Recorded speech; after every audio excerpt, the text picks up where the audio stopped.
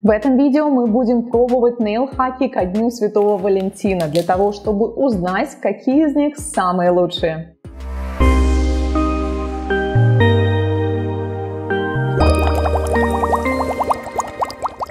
Привет, с вами Анастасия и добро пожаловать на мое шоу Nail Лаборатория, где мы делаем различные бьюти-исследования и эксперименты.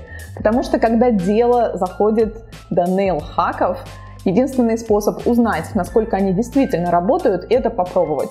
Именно этим мы будем заниматься. День Святого Валентина уже совсем скоро. И в этот день, как правило, все дарят подарки и, конечно же, готовят маникюр на котором, как правило, есть какие-либо сердечки. Кстати, если вы смотрите это видео в совершенно другое время года, то почти все нейл-хаки можно применить и к обычным дизайнам.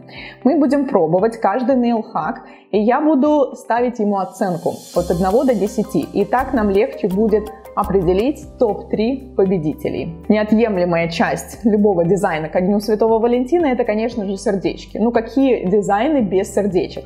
Но только когда я пытаюсь его нарисовать от руки, у меня практически никогда они не получаются симметричными. Две половинки как будто бы просто из разных миров. Знаете, одна вот такая пухлая, а другая худая.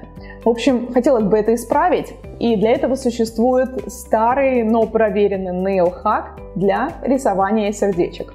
Для него вам потребуется дотс. Дотсы существуют разных форм, и чем больше вы его возьмете, тем, соответственно, сердце будет больше. Так что здорово, если у вас есть разные размеры, большой, средний, маленький. Таким образом, вы сможете создавать сердечки разного размера.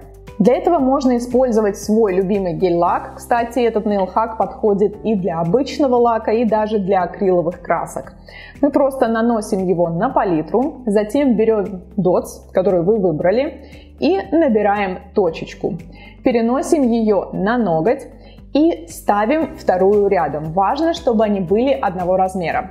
Вы можете сделать небольшой промежуток между ними. В этом случае сердечко будет более такое пухлое, раскрытое, либо поставить две точки вплотную. В этом случае сердечко будет похудее. И после этого вам потребуется обычная тонкая кисть, с помощью которой мы выводим две линии. У нас получается треугольник.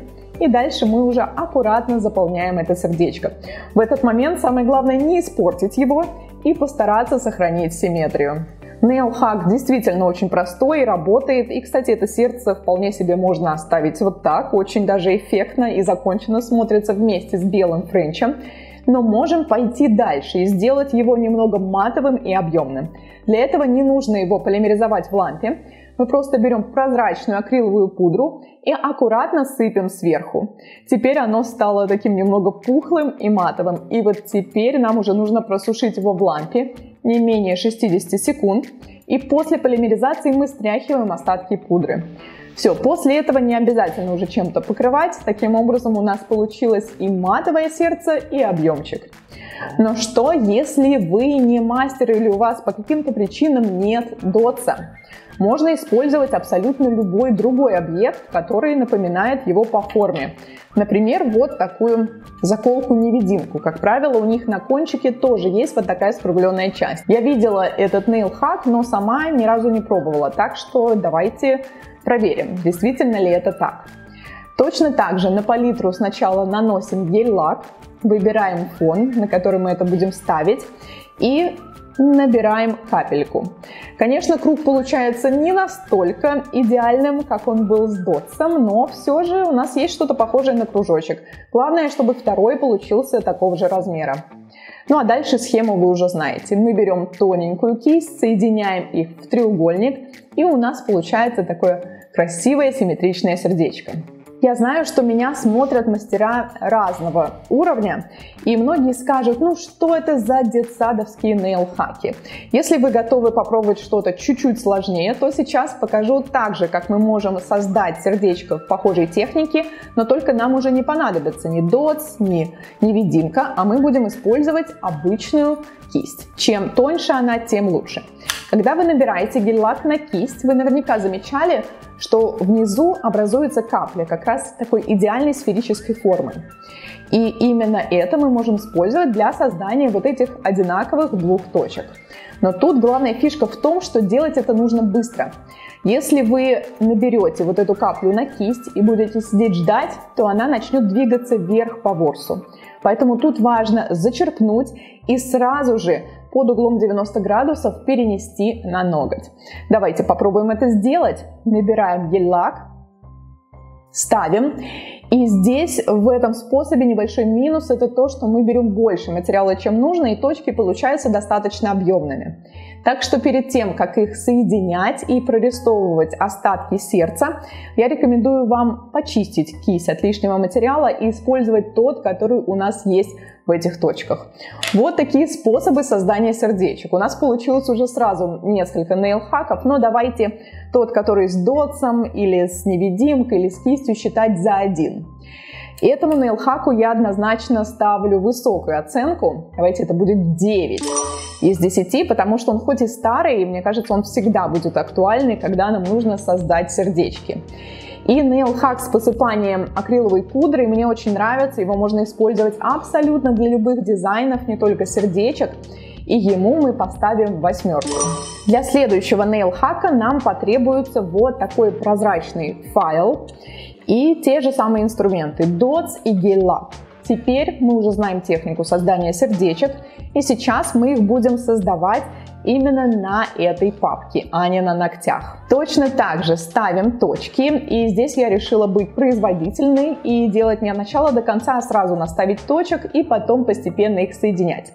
Но я не учла, что ставить их на вот таком файле это не то же самое, что ставить на ногтях. Здесь они начинают растекаться. Так что помните, что они немного увеличатся в размере, и если вы хотите маленькие, то делайте их еще меньше. Ну или просто работайте быстро и сразу фиксируйте. Ставим две точки, соединяем, и у нас получаются сердечки, которые нам нужно просушить в лампе 60 секунд. Здесь мы можем сделать также разные цвета, разные размеры. И главное, старайтесь э, использовать вот такие гладкие файлы. Они бывают также текстурированные, на мой взгляд, такие уже не так удобно.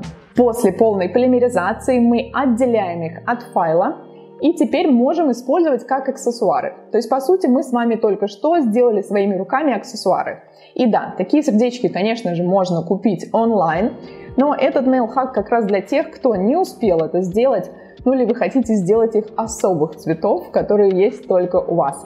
Теперь давайте переносить сердечки на ноготь. Для этого вам потребуется какой-то непросушенный материал внизу. Я нанесла густой моделирующий гель. Их, конечно же, можно использовать и для внутреннего дизайна, для запечатывания, но если вы их сделаете достаточно плоскими, их также можно добавлять и наверх. Но если вы делали сердца большого размера, то здесь есть одна проблема. Они получаются плоскими, а у плоских сердец обязательно будут вот эти зазоры между ногтем.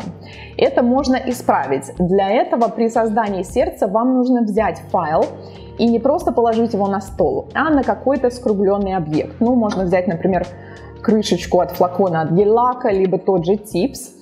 Делаете сердечко и полимеризуете именно таким образом и оно получится у вас не плоским, а с небольшим изгибом, а значит оно идеально ляжет на ноготь, и вам не нужно волноваться об вот этих зазорах. Но если вы делаете, например, совсем мелкие сердечки, то это не обязательно, даже плоские ложатся достаточно хорошо. Давайте посмотрим, что у нас получается. Nail Hack действительно очень простой, но, на мой взгляд, здесь много работы, ведь нам нужно нарисовать сердечки, просушить их, отделить, перенести, еще придумать, как запечатать, чтобы они не торчали, ведь мы могли бы их просто нарисовать и добавить объема за счет посыпания пудрой. В общем, Nail Hack неплохой, но в плане практичности я считаю он не самый удобный, поэтому ставим ему пятерку. Для следующего Hack нам также потребуется прозрачная пленка файл, и также ваши любимые гель-лаки. Но теперь мы наносим их уже не в виде сердечек, а просто делаем вот такие полотна из гель-лака. Здесь лучше, конечно, выбрать цвета, которые плотно ложатся и дают хорошую укрывистость даже с тонкого слоя. Помните, что на любой вот такой поверхности гель-лак начинает собираться через некоторое время, поэтому здесь нужно действовать быстро и как можно скорее отправить их в лампу. Полимеризуем обязательно полностью одну минуту, после чего мы будем использовать также дополнительный инструмент, который называется вот так вот бумажный перфоратор, либо степлер, он отпечатывает сразу же дырки в виде сердечек. Ну, по сути, как дырокол, только он делает не круглую дырку, а в виде сердца. И, конечно, он предназначен для бумаги. Но сегодня мы будем создавать свою собственную бумагу из гель-лака. После полимеризации не забудьте о том, что нужно обязательно снять липкий слой, потому что если мы будем его трогать, мы можем заработать себе аллергические реакции, да и в принципе он будет везде прилипать. Так что тщательно все вытираем и отделяем от пленки. Теперь это наша бумага, и из нее мы будем прокалывать сердечки. И здесь, если честно, я думала, что все очень просто, ну что тут может не сработать, но нет, как вы видите, наш кусочек гель-лака просто превращается в труху. И какое-то сердечко вроде бы оттуда даже получается, но, по-моему, ребят, я здесь была не права. Не нужно наносить такой толстый слой. И, возможно, еще я перестраховалась его и пересушила, продержала слишком долго. Мы хотим тоненькие сердечки, чтобы они не давали много объема и в идеале, если они будут даже немного эластичны. Так что давайте попробуем снова, но на этот раз я наношу более тонкий слой и просушу его где-то 40 секунд. На этот раз получились более тонкие полоски. Я точно так же снимаю липкий слой, а вот снять их с пленки уже не так просто, когда они стали тоньше, некоторые разламываются. Ну ладно, давайте все равно пробовать. И когда я их прокалываю, они все равно трескаются. Все-таки гель-лак это не бумага. Но не так сильно, как в первый раз. Они, по крайней мере, не рассыпаются в труху. И некоторые сердечки выходят очень даже симметричными. Так что где-то 70% сердечек вроде бы получаются более-менее ровные, но некоторые, да, немного побитые. Так что Hack однозначно рабочий, здесь просто нужно приноровиться с толщиной гель-лака, возможно попробовать разный материал, какие-то лучше будут работать, какие-то хуже, просто наносите его потоньше и просушивайте до такого момента, чтобы он схватился, но при этом был слегка эластичным. Сейчас мы, по сути, своими руками создали такой nail-аксессуар. Да, такие сердечки, конечно же, легко можно заказать онлайн, но мы можем сделать их и своими руками. И теперь давайте переносить их на ноготь. Я заготовила белый фон, нанесла густой моделирующий гель. И эти сердечки, если честно, мне кажется, все-таки лучше подойдут только для внутреннего дизайна, потому что здесь мы уже не можем играться с размерами, они всегда получатся одинаковые. И также они плоские, то есть здесь мы не можем играться с изгибом. Так что в отличие от предыдущего нейлхака мы ограничены. Но для инкапсулирования, то есть аквариумного дизайна, например, если вы делаете длинные гелевые или полигелевые или акриловые ногти, они подходят отлично. Но тот факт, то, что они достаточно одинаковые и плоские, все-таки немного огорчает. Вот такой результат получился, и здесь мы видим, что не все сердечки у нас супер ровные. В общем, nail hack интересный и однозначно рабочий, но опять же, работы здесь требуется немало, и результат получается средненький. Так что, если вы хотите сердечки на ногтях, я бы лучше скорее воспользовалась бы предыдущим нейлхаком, либо вообще там, где мы их рисуем. Так что давайте ставим ему оценку 4 из 10. Следующий нейлхак был очень популярен в прошлом сезоне. Он был прямо в моей ленте Инстаграм везде. Называется он «Поцелую». И для него вам даже не потребуется гель-лак, ну, разве что для фона. Нам потребуется помада, либо блеск для губ. Заключается он в том, что мы красим губы, делаем отпечаток, и он остается на ногтях. Когда я впервые увидела этот hack, точнее увидела готовый результат, я была уверена, что это нарисовано рукой, ну или что-то там использовали. Но нет, мастера прямо действительно брали и целовали ногти клиентов. Если вы хотите сделать такой дизайн на себе, то тут, в принципе, нет никаких проблем. Но вот насчет целования пальцев клиентов я не уверена, мне не кажется, что это очень гигиенично. Поэтому в этом случае можно сделать так. Сначала оставить поцелуй на руке и затем перенести его на ноготь. Для такого нейлхака однозначно нужно использовать стойкую помаду или блеск и лучше матовую. Потому что если она будет не стойкой, то э, вы не сможете, скорее всего, ее запечатать.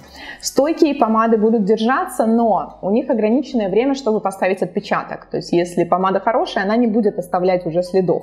Поэтому вам нужно нанести ее на губы и сразу же быстро сделать отпечаток. Первый поцелуй делаем в салфетку. Чтобы убрать основную массу, и тогда следующий, который вы переносите на ноготь, оставит эту красивую текстуру губ. Ну что, по-моему, получилось очень прикольно и действительно достаточно просто. Вот это я понимаю nail hack. Действительно, сделал раз, два, и долго времени не потребовалось. Теперь нам нужно полностью просушить, но обычно это где-то минута-две. Такая помада достаточно быстро высыхает, и мне, кстати, она нравится и в матовом варианте.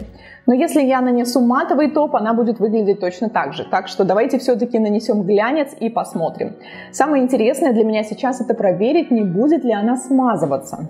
Похоже, что тест пройден, ничего не смазывалось и смотрится очень даже эффектно. Я бы попробовала еще такой дизайн с разными цветами где не только один цвет помады, а, например, какой-то светлый и темный. И так сделать немного многослойно, знаете, как будто зацеловали ногти. Но это будет уже немало работы, представляете, но надо будет каждый раз красить это блеском, наносить его, стирать с губ. В общем, hack интересный, но не думаю, что он будет очень долго жить. И в меру того, что я считаю не очень правильно целовать руки клиентов, плане гигиены, поэтому давайте поставим ему шестерку. И, наконец-то, тот самый вирусный hack, который заполонил всю мою ленту Инстаграма, ТикТока, все просто его сейчас делают. Это hack с магнитом и скрепкой. Сначала нам потребуется обычная скрепка, они бывают разные, более мягкие, более жесткие. Если она мягкая, то вы в принципе сможете все сделать пальцем, но в идеале, чтобы у вас были такие специальные плоскогубцы для ювелирных украшений. Ими будет очень удобно это все скручивать. Но лично у меня таких нет, у меня обычные, самые, поэтому я пользуюсь тем, что есть, подручным материалом. Сначала нам нужно как бы сложить ее пополам, а затем начать закручивать. И Край нужно оставить, чтобы получилась такая рогатка. И в идеале вот эта рогатка должна быть супер ровной и симметричной, то есть длина вот этих двух полосок должна быть одинаковой. Но когда начинаешь крутить, это не всегда получается, как правило, одна короче, другая длиннее, здесь нужно ее подрезать и укоротить. Только, пожалуйста, пожалуйста, не используйте свои любимые маникюрные ножнички или щипчики для этого, потому что после этого они испортятся навсегда.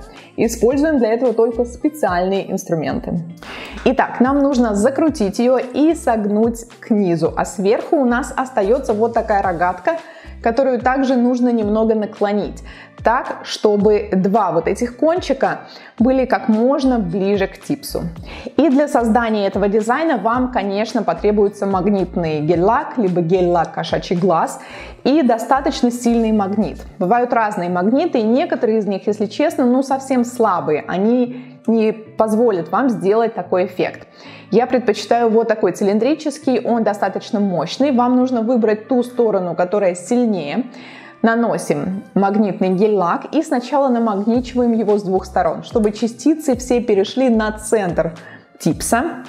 И после этого мы подсоединяем нашу конструкцию к магниту, то есть магнит получается как бы снизу типса и на небольшом расстоянии и подносим так близко, как только можете, но не касаясь. И здесь магнитные силы все сделают за вас. Вот эти частички начинают расходиться форме сердечка. Ребят, это так прикольно и так красиво. Действительно очень эффектный и легкий hack. Как только у вас получилось то сердечко, которое вам нравится, то сразу же отправляем его на полимеризацию. Если вам кажется, что теперь для создания этого дизайна вам потребуется куча разных магнитных гель-лаков, это не так. Достаточно иметь хотя бы один, лучше серый или серебристый. И если у вас есть витражные гель-лаки, то вы можете нанести их сверху и получить больше красивых цветов. Например, я вот так попробовала сделать с желтым. Выглядит очень даже эффектно, получилось как будто золотой либо с красным. Но витражные гель-лаки должны быть достаточно полупрозрачными. Некоторые цвета слишком темные или плотные, и тогда эффект уже будет не так хорошо виден. Не буду врать, этот hack у меня получился не с первого раза, но все дело в том, что я достаточно далеко ставила магнит. Если магнит далеко, то силы не хватает, и вот эти частицы расходятся не так хорошо, и сердечко получается не такое четкое. Так что просто поэкспериментируйте с расстоянием, попробуйте его подносить ближе или дальше.